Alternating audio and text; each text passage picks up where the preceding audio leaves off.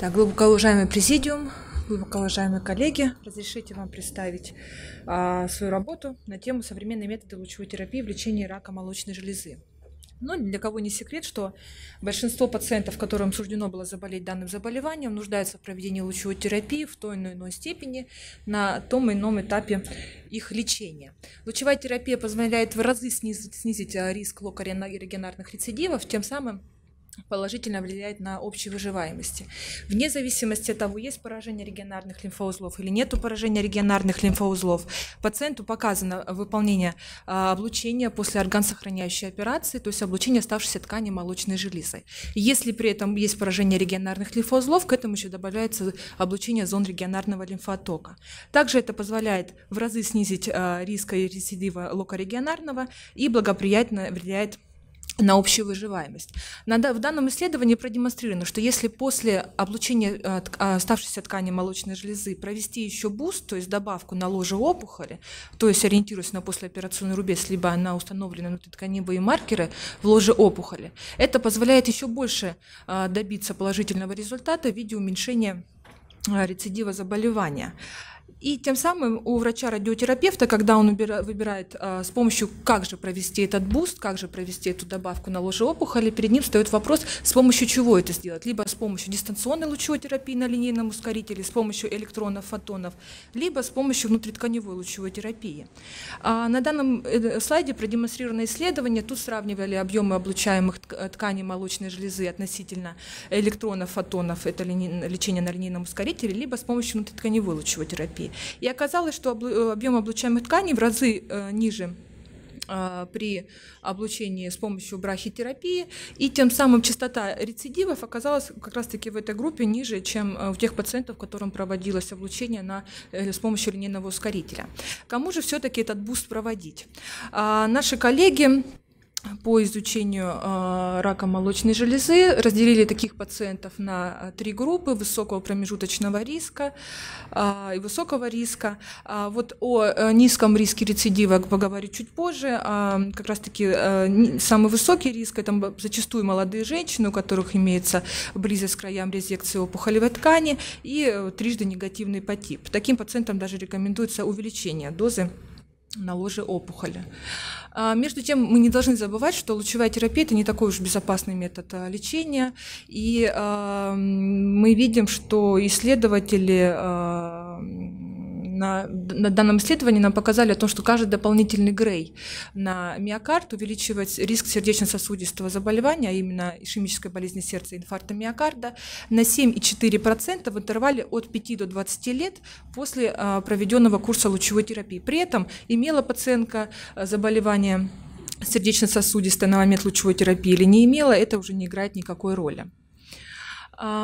Также, если сравнивать нагрузку на критические органы здоровой ткани, если сравнивать дистанционную лучевую терапию, внутритканевую лучевую терапию, то достоверно и на легкое, и на сердце, и на кожу доза приходится при выполнении брахитерапии э, намного меньше.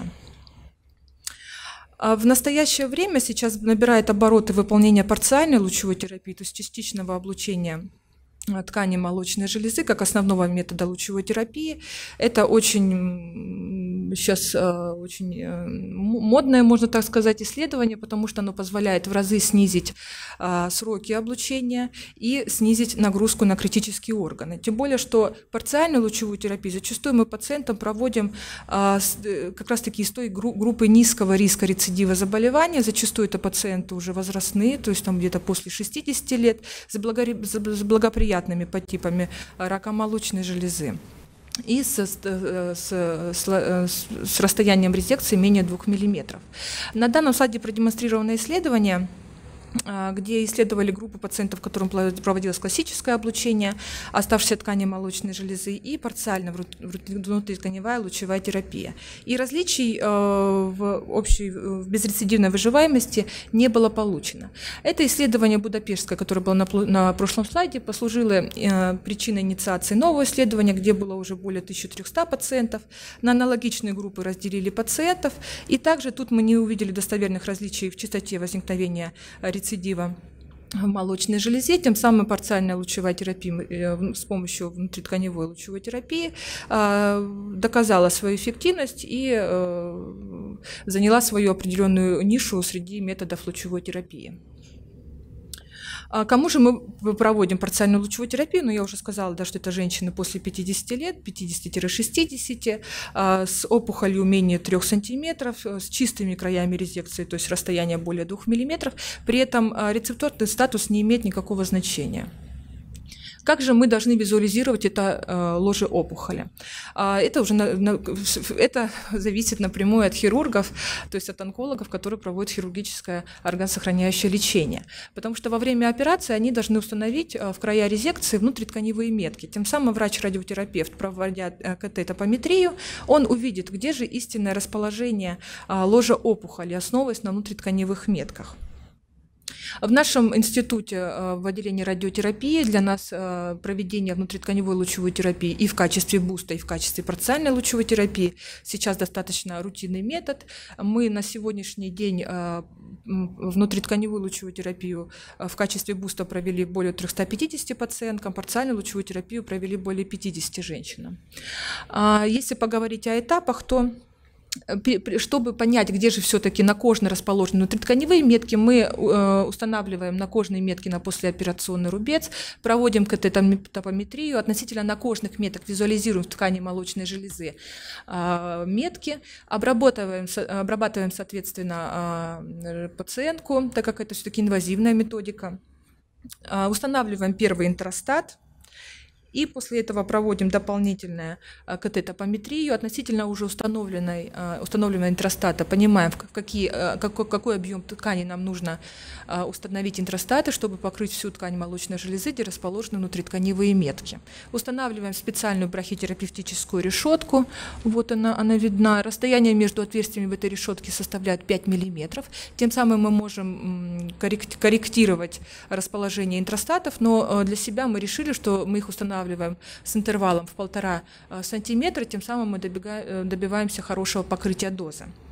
После того, как, э, мы установили все интростаты, мы устанавливаем на каждый интростат специальные фиксирующие, специальные фиксаторы, которые тем самым сводят к минимуму подвижность интростата в ткани молочной железы, загружаем специальную планирующую систему э, э, скрины катетопометрию и планируем непосредственно само облучение. На данном слайде продемонстрируем скриншот с планирующей системы. Мы видим, что максимум дозы у нас как раз-таки непосредственно в ложе опухоли, то есть в той ткани молочной железы, где расположены метки. И после этого мы непосредственно проводим сеанс лучевой терапии, то есть вот он аппарат брахитерапии, подсоединяем э, каждому интростату аппарат, и по очереди через каждый интростат проводится облучение с определенной глубиной, с определенной интенсивностью.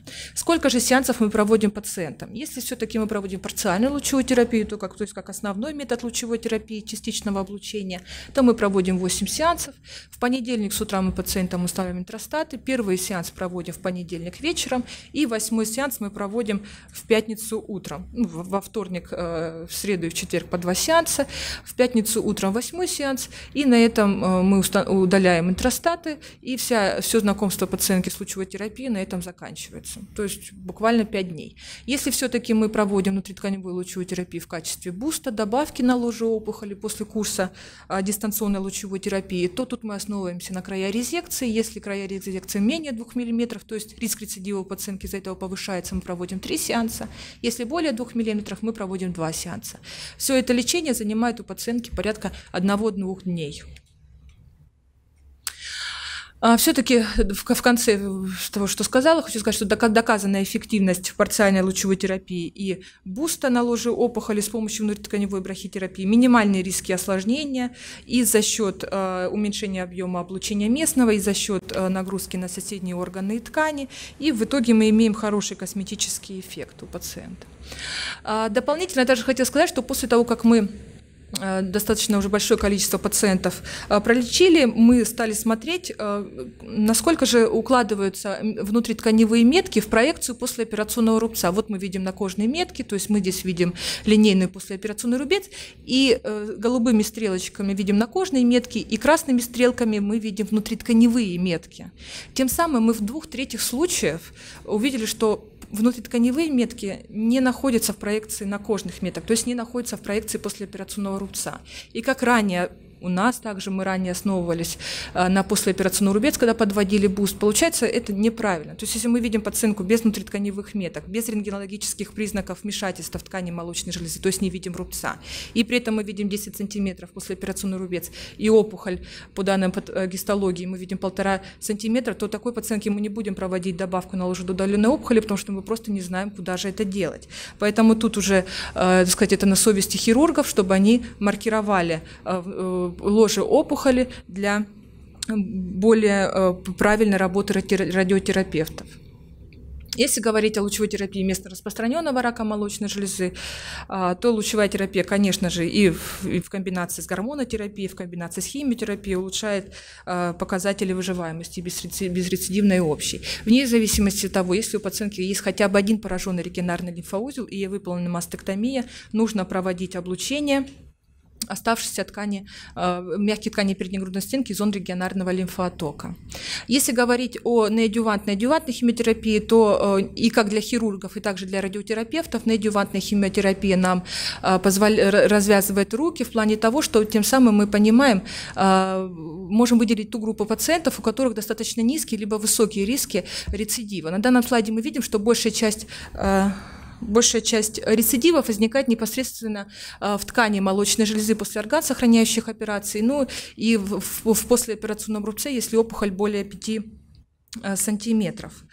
А, если говорить о возрасте, то выше риски возникновения как раз таки у молодых, чем у возрастных. И в отличие от патоморфологического регресса мы можем разделить пациентов на тех, у кого все-таки достаточно низкие риски, это у тех, кого мы смогли достигнуть полного патологического регресса. Это я пропущу, так как время у меня уже заканчивается. Как же мы можем понять, выделить ту группу пациентов, у которых достаточно низкие риски рецидива заболевания? Это мы можем это сделать с помощью мамосцинтиграфии. Это тот метод исследования, который нам позволяет и диагностировать рак молочной железы, и оценивать эффективность проводимой неадювантной химиотерапии. То есть с точностью более 93% мы можем сказать, получили мы регресс у, у пациентки патоморфологический, либо нет. То есть это, это такой предиктор Э, гистологического исследования. Тем самым мы можем самое же увидеть и по лимфатическим узлам, э, по мамосцинтиграфии. Тем, и тем самым мы с помощью мамосцинтиграфии, с помощью надювантной химиотерапии можем выделить ту группу пациентов, которых мы смогли достигнуть а, полного клинического регресса, и у этой группы э, пациентов рассмотреть вопрос о уменьшении хирургического вмешательства и в молочной железе, и в регионарных лимфоузлах. Мы на самом деле у нас в институте в, послед... Э, в настоящее время э, нас будет исследование о нехирургическом лечении пациентов при, с полным клиническим регрессом в молочной железе, и таким пациентам мы не будем рекомендовать хирургическое лечение, а будем э, проводить облучение оставшейся ткани молочной железы и зон регионарного лимфоотока. Ну, так как время у меня закончилось, это кратко. И последний слайд – я хочу тут показать э, публикация 2019 года, где мы видим количество пациентов относительно нозологии, кому рекомендовано, кому нужна лучевая терапия. Среди молочной железы это 87% пациентов, которым нужна лучевая терапия в плане комбинированного лечения. Спасибо.